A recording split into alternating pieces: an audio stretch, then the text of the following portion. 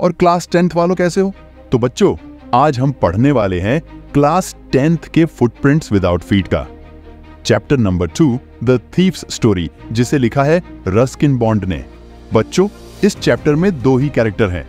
पहला एक चोर, जिसकी उम्र सिर्फ़ पंद्रह साल है, लेकिन वो चोरी करने में बहुत माहिर होता है। वो दूसरों से मीठी मीठी बातें करके उनके घर काम पर लग जाता है और सही टाइम मिलने पर वहाँ से चोरी करके भाग जाता है। दूसरा एक 25 साल का आदमी जिसका नाम अनिल होता है, जो कि बहुत ही काइंड है और इजीली किसी पर भी भरोसा कर लेता है। बच्चों चैप्टर की शुरुआत में अनिल रेस्टलिंग मैच देख रहा होता है और वो दिखने में बहुत लंबा और पतला आदमी होता है। जब चोर अनिल को देखता है तो वो सोचता है कि ये आदमी बहुत केयरलेस दिख रहा है। शायद वो चीज़ों को बहुत सीरियस नहीं लेता। ऐसे आदमी को लूटने में मज़ा भी आएगा और आसानी भी होगी। बच्चों इसके बाद चोर चैप्टर में बताता है कि पिछले कुछ दिनों से उसके साथ कुछ सही नहीं चल रहा है। उसका लक उसका साथ नहीं दे रहा है। इसीलिए वो अपने मन में सोचता है कि वो इस आदमी का भरोसा जीत कर इसके घर काम करेगा और सही टाइम मिलने पर चोरी करके भाग जाएगा। बच्चों, यही सब सोचकर चोर अनिल के पास मक्खन लगाने के लिए जाता है और कहता है कि, अरे, सर, आप तो खुद एक रेस्लर की तरह दिखते हैं। बच्चों, चोर का मानना था कि अगर हम किसी की गलत तारीफ़ करते हैं तो हमें दोस्ती करने में आसानी होती है। लेकिन बच्चों, अनिल को पता था कि वो उसकी गलत तारीफ़ कर रहा है तो वो चोर को उल्टा बोलता है कि हाँ तू भी तो रेस्लर दिख रहा है। जब चोर ने यह सुना तो वो एकदम शॉक्ड हो गया, क्योंकि वो भी दिखने में पतला था। चोर को पता चल गया था कि अनिल समझ गया है कि वो उसको मक्खन लगा रहा है। इसके बाद चोर अनिल से कहता है कि हाँ सर, मैं रेसलिंग किया करता था। फिर अनिल चोर से उसका नाम पूछता है। तब चोर अपना नाम हरि सिंह बताता है। बच्चों, चोर का असली नाम हरि सिंह नहीं था। वो हर महीने अपना नाम बदल लेता था, ताकि वो पुलिस से और उनसे बच सके, जिनके घर उसने पहले ही चोरी कर रखी है। बच्चों, इसके बाद चोर और अनिल रेसलिंग के बारे में बात करते हैं।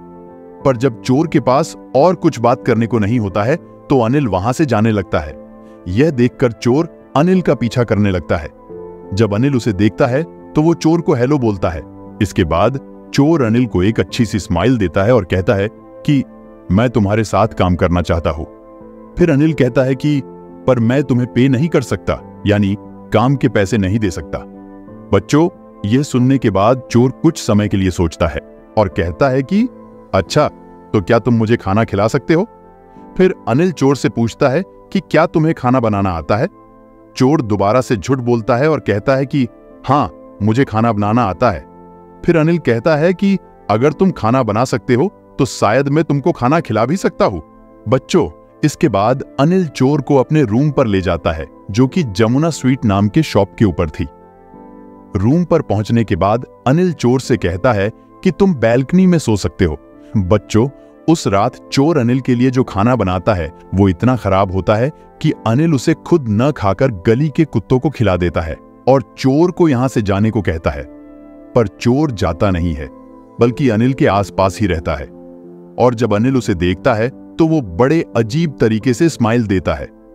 अनिल जब यह सब देखता है तो उसकी भी हँसी निकल जाती है। इसके बाद अनिल चोर से कहता है कि, अगर तुम्हें खाना बनाना नहीं आता तो कोई बात नहीं। मैं तुम्हें सिखा दूँगा। बच्चों, इसके बाद अनिल चोर को बहुत चीज़ें सिखाता है, जैसे कुकिंग करना, अपना नाम कैसे लिखते हैं।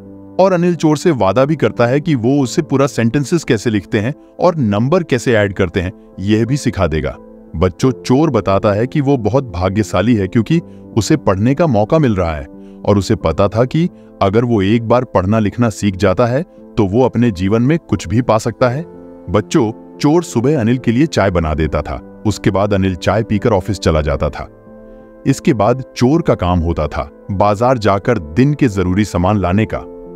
जहाँ से चोर, जो एक से दो रुपए बचते थे, वो अनिल को न देकर खुद रख लेता था। अनिल को इसके बारे में पता होता है, पर वो इस बात का बुरा नहीं मानता था। चोर बताता है कि अनिल बहुत अजीब तरीके से पैसे कमाता था। वो एक हफ़्ते पैसे दूसरों से उधार लेता था और दूसरे हफ़्ते उसे लौटा देता था। अनिल बस चेक का इंतज़ार करता था और जैसे ही उसे चेक मिलता, वो सेलिब्रेट करता था। बच्चों, चोर कहता है कि अनिल के रहने के तरीके से पता चलता था कि शायद वो मैगजीन लिखने का काम करता था।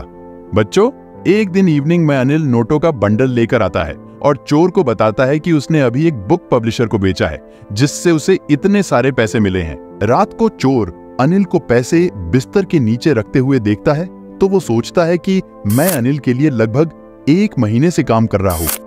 पर मैंने शॉपिंग करते समय छोटे मोटे चोरी के अलावा कुछ बड़ा हाथ नहीं मारा है। इसीलिए वो सोचता है कि अभी मेरे पास बहुत बड़ा मौका है।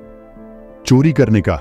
बच्चों अनिल ने चोर को अलग से चाबी भी दे रखी थी, ताकि वो रूम से बाहर आ जा सके। जब अनिल घर पर ना हो बच्चों, अनिल ऐसा पहला बंदा था जो इस चोर पर इतना भरोसा कर रहा था। चोर चैप्टर में बताता है कि ऐसे आदमी को लूटना बहुत मुश्किल है।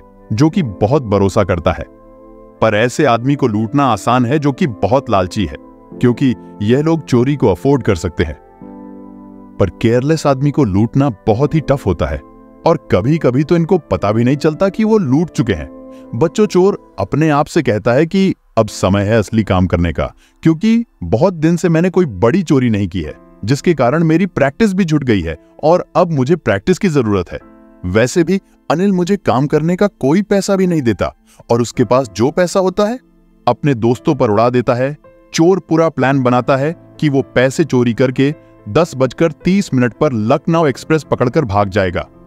और चोर ऐसा ही करता है, जब रात को अनिल सो रहा होता है और मूनलाइट बैल्कनी से आकर बेड पर आकर पड़ रही होती है। चोर बिस्तर के अंदर हाथ डालता है और पैसे निकालने की कोशिश करता है। उसी समय वो अनिल के फेस पर देखता है, जहाँ उसे कोई टेंशन नहीं दिखता। मतलब कि अनिल एकदम खुश था।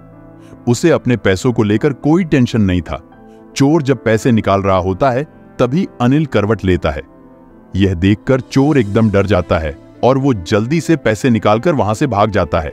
बच्चों, चोर भागते भागते सड़क पर जाता है। और वहाँ वो पैसों को अपने पजामे के नाड़े से बांधता है और फिर भागने लगता है। और कुछ देर बाद वो फिर रुकता है और पैसों को गिनता है। उसने कुल छह सौ रुपए चोरी किए थे और सारे नोट पचास पचास के थे। इसके बाद चोर रेलवे स्टेशन पर जाता है, जहाँ वो टिकट भी नहीं लेता। क्योंकि उसने आज तक अपने जीवन में कभी टिकट नहीं लिया था। और जब चोर प्लेटफॉर्म पर पहुँचता है तो वो देखता है कि ट्रेन धीरे धीरे जा रही थी। चोर आराम से उस ट्रेन को पकड़ सकता था पर पता नहीं उसे क्या होता है। वो ट्रेन को पकड़ता नहीं, बल्कि जाने देता है। जब ट्रेन चली जाती है तो वो पूरे स्टेशन पर अकेला होता है। वहाँ आसपास और कोई नहीं होता है। चोर सोचता है कि रात हो रही है। अब मैं कहाँ जाऊँ? मेरे तो कोई दोस्त भी नहीं है, क्योंकि दोस्त मदद कम, समस्या ज़्यादा लाते हैं। और अगर मैं इतने सारे पैसे लेकर होटल में जाता हूँ तो होटल वालों को शक हो जाएगा। अगर मैं किसी को यहाँ इस सिटी में जानता हूँ तो वो अनिल ही है। बच्चों, इसके बाद चोर पास के बाज़ार में जाता है और इधर उधर घूमने लगता है। तब फिर वो सोचता है कि मैंने आज तक अपने जीवन में सिर्फ़ चोरी किया है। इसके अलावा कुछ नहीं किया है और इस दौरान मैंने लोगों के चेहरों को भी पढ़ना सीख लिया है, जब वो अपनी चीज़ें खो देता है। अगर एक लालची इंसान अपनी चोरी के बारे में सुनेगा तो उसे अगली चोरी के लिए डर रहेगा। एक अमीर इंसान को गुस्सा आएगा और एक गरीब इंसान मान लेगा कि उसके घर चोरी हुई है।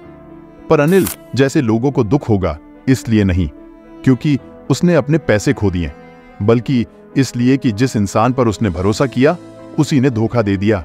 बच्चों, इसके बाद चोर जाकर मैदान यानी खुली जगह पर लगी कुर्सी पर बैठ जाता है, जहाँ उसे हल्की ठंड लग रही थी, क्योंकि नवंबर का महीना अभी अभी शुरू हुआ था। कुछ समय बाद बारिश भी शुरू हो जाती है, जिससे चोर पूरी तरीके से भीग जाता है। वो वापस से बाज़ार में जाता है और एक टावर के नीचे जाकर बैठ जाता है, जिसके ऊपर एक क्लॉक लगा था, जो कि मिडनाइट का समय दिखा रहा था। इसके बाद चोर दोबारा से पैसे निकालता है और देखता है कि सारे नोट भीग चुके थे। बारिश के कारण वो सोचता है कि अनिल मुझे दो तीन रुपए दिया करता था सिनेमा देखने के लिए, और अब मेरे पास उसके सारे पैसे हैं। न तो मुझे अब उसके लिए खाना बनाना पड़ेगा, और ना ही अब मुझे होल सेंटेंस सीखने को मिलेगा, बच्चों। मतलब कि चोर को अंदर से बहुत बुरा लग रहा था। वो सोचता है कि अगर मैं एक बार पढ़ना लिखना सीख जाता हूँ तो मैं एक दिन में सौ रुपए से ज़्यादा भी कमा सकता हूँ। और वैसे भी किसी के घर चोरी करना आसान काम है, पर किसी से रिस्पेक्ट पाना और एक बुद्धिमान आदमी बनना बहुत कठिन काम है। और बच्चों, यही सब सोचकर चोर अनिल के पास वापस जाता है और डरते डरते वो पैसों को दोबारा से बिस्तर के नीचे रख देता है और जाकर सो जाता है। सुबह जब चोर उठता है तो वो देखता है कि अनिल पहले से उठा था और उसने चाय भी बना ली थी। इसके बाद अनिल चोर के पास आता है और चोर को पचास रुपए देते हुए कहता है कि अब से तुमको तुम्हारे काम के लिए पैसे मिलेंगे। और हाँ आज से हम होल सेंटेंस को भी लिखना सीखेंगे। बच्चों, जब चोर अपने हाथ में पैसे लेता है तो वो देखता है कि वो नोट अभी भी भीगी हुई थी और उसे लगता है कि शायद अनिल को यह पता चल गया है। उसने पैसे चुराए थे, पर फिर भी अनिल अपने आप को ऐसा दिखा रहा है कि कुछ हुआ ही नहीं है। चोर एक बार दोबारा से अनिल की तरफ़ देखता है और एक अच्छी सी स्माइल देता है और वो चैप्टर में बताता है कि इस बार वाली स्माइल कोई फेक नहीं थी, बल्कि रियल थी बच्चों। इसके बाद ये चैप्टर यही खत्म हो जाता है। अगर आपको समझ में आया हो तो सब्सक्राइब कर देना और अगर आपको और क्लास टेंथ के चैप्टर देखने हैं तो आप यहाँ क्लिक भी कर सकते हैं।